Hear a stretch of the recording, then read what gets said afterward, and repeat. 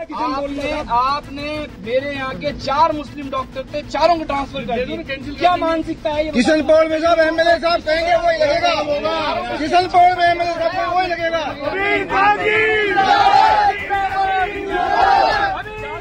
जिंदाबाद जिंदाबाद जिंदाबाद। जिंदाबाद जिंदाबाद। विधायक अमीन काजी ने जैसे ही अपने चिकित्सा मंत्री परसादी लाल मीणा को आँख दिखाई तो परसादी सहम गए। अमीन काजी के विधानसभा क्षेत्र से चार मुसलमान डॉक्टरों के तबादले रद्द करवाने की बात कहने लगे।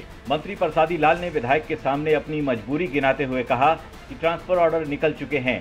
चारों डॉक्टरों को ज्वाइन करने दीजिए, इसके बाद उन्हें फिर दोबारा वहीं तैनात करवा देंगे, जहाँ वो पहले से कार्यरत थे। चौटासरा जी के चलो ठीक है, हम विधायक नहीं है। हमारे एरिया में मरीज़ नहीं है हमारे ओपीडी नहीं है। सुनिए तो सही आप चौटासरा जी के चलो ठीक है हम विधायक नहीं है। हमारे एरिया में मरीज़ नहीं है हमारे ओपीडी नहीं है। सुनिए तो सही आप तबादलों को लेकर कांग्रेस के विधायक और मंत्री की तकरार अब सियासी गलियारों में चर्चा का विषय बन गई है। अब तो विरोधी भी ये कहकर मज़े लेने लगे हैं कि पहले तो कांग्रेस में गहलोत और पायलट की ही लड़ाई थी। लेकिन अब तो मंत्री और विधायक भी ट्रांसफ़र पोस्टिंग को लेकर आपस में ही भिड़ने लगे हैं। अमीन कागज़ी ने प्रसादी को ऐसा सबक दिया है कि उन्हें अमीन कागज़ी के आगे सरेंडर करना पड़ गया।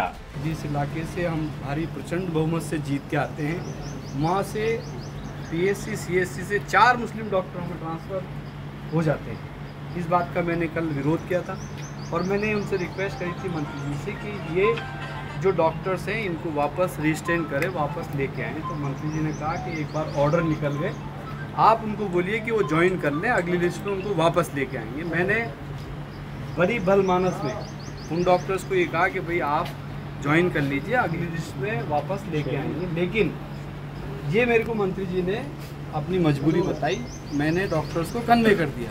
अमीन काजवी ने प्रसादी पर पूरा दबाव बना रखा है। अपने समर्थकों के साथ काजवी प्रसादी के सरकारी आवास के बाहर ये कहते हुए डटे रहे कि जब तक सब कुछ लिखित में नहीं मिल जाएगा, तब तक वो टस से मस नहीं होने वाले, क्योंकि काजवी को सबसे ज़्यादा चिड़ इस बात से है कि उनके विधानसभा क्षेत्र के मुसलमान डॉक्टरों का ही तबादला क्यों किया गया। उनके स्थानांतरण कैंसिल करके वापस पुरानी जगह ले आए। तो मैंने मंत्री जी से ये बात करी कि एक तरफ़ तो आप ये बोलते हो कि भाई, हमने ट्रांसफ़र करें, आप ज्वाइन कराएँ। दूसरे लोगों के लिए आप उनके जो ट्रांसफ़र कहते हैं, उनको कैंसिल करके ले आते हैं। एक इलाका ऐसा जिसमें चार मुस्लिम डॉक्टर एक साथ चले जाते हैं, उनको मैं लाने की बात करता हूँ। कल मैंने कहा, जिन डॉक्टर के लिए मैं एक के लिए कह के गया कि भाई इसको आप अगली लिस्ट में निकाल देना। उसको रात को देवली लगा दिया। तो इस चीज़ को लेके कब तक बर्दाश्त करे कोई आदमी?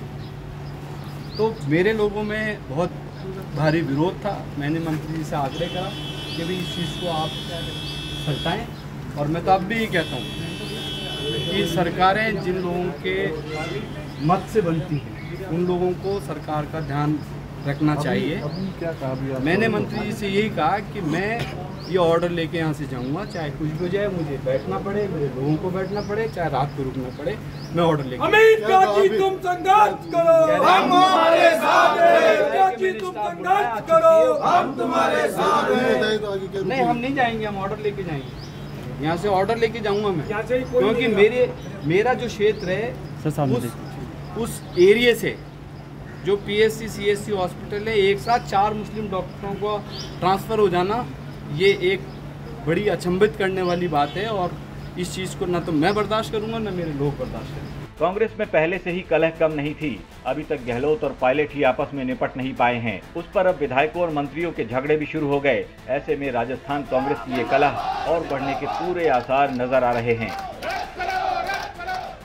ब्यूरो रिपोर्ट, राजस्थान तक।